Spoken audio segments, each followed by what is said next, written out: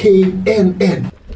Wafdiga madaxweynaha soomaaliya maxamed cabdilaahi farmaajo ayaa gelinkii dambe ee maanta dib ugu soo laabtay magaalada muqdisho kadib kulamada isxigxigay ee adis ababa iyo nairobi ee caasimadaha ethoobiya iyo kenya. Wafdiga ayaana weli ka hadlin heshiiska war-saxaafadeedka laga soo saaray ee nairobi ay ku gaareen dowladaha soomaaliya iyo kenya oo maalmihii la soo dhaafay ay u dhexaysay xiisad diblomaasiyadeed. Siyaasiyiinta iyo dadka waxfalanqeeya ayaa aad baraha bulshada xilligan ugu hadalhaya heshiiska uu garwadeenka ka ahaa ra'iisul wasaaraha ethoobiya doctor abiy axmed ee ay maanta gaareen madaxweyne farmaajo iyo kan kenya uhuru kenyatta. Kulanka oo ahaa mid deg deg u muuqday ayaa ay dowladda soomaaliya sheegtay in lagu heshiiyey in la xoojiyo xiriirka diblomaasiyadeed ee labada dal.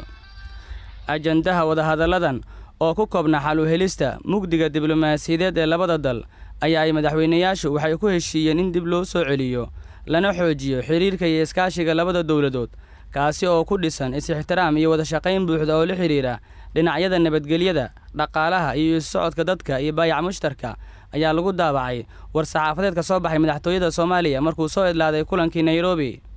Sidoo kale qoraal uu soo saaray agaasimaha warfaafinta madaxtooyada cabdinuur maxamed axmed ayuu ku sheegay in labada danjire ee soomaaliya iyo kenya ay dib ugu laabanayaan safaaradahooda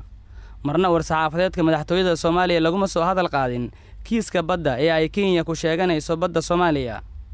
Balse agaasimaha warfaafinta ayaa waxa uu sheegay inaan laga wada hadal kiiska maxkamadda adduunka hor yaalla dowladda soomaaliya mowqifkeeda uu yahay mid cad.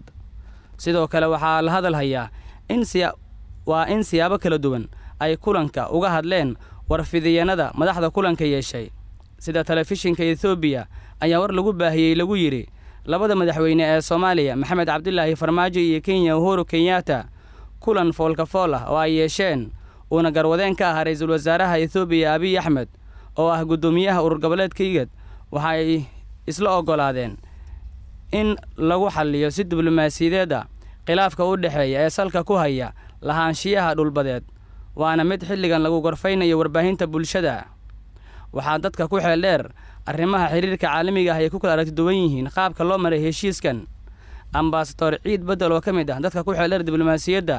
ayaa qaba inay ahayd in abiy iyo uhuru kenyatta ay muqdisho ugu yimaadaan madaxweyne farmaajo maadaama kenya ay tahay middii bilowday xiisadda. Sidoo kale danjir cabdiraxmaan diinaari ayaa qaba in tallaabadani ay tahay mid muujinaysa furfurnaan diblomaasiyadeed loona baahnaa waxaa kale oo jira dad aaminsan in ay madaxda ahayd in la isugu geeyo meel ka baxsan muqdisho iyo nairobi. In shirka ka dhacay nairobi uu ahaa mid lagu ogolaysiinayo madaxweynaha soomaaliya inuu wadahadal ka galo muranka dhulka badda ee ay soomaaliya leedahay ayuu sidoo kale baraha bulshada goordhow ku daawacay xildhibaan mahad salaad oo ka tirsan golaha shacabka ee baarlamaanka soomaaliya